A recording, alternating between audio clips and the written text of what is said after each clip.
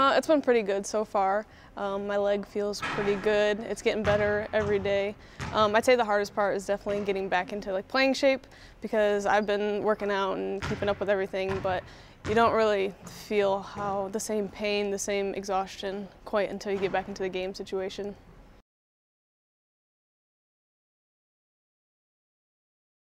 Um, it's definitely been a very long year, um, so I'm excited just to get back out in the field.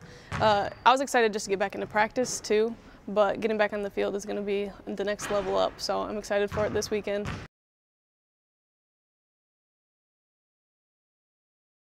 For the team, I like our goal is always for the WHAC championship, so that's our first and foremost goal. But uh, just taking the talent that we have on this team and taking it as far as we can.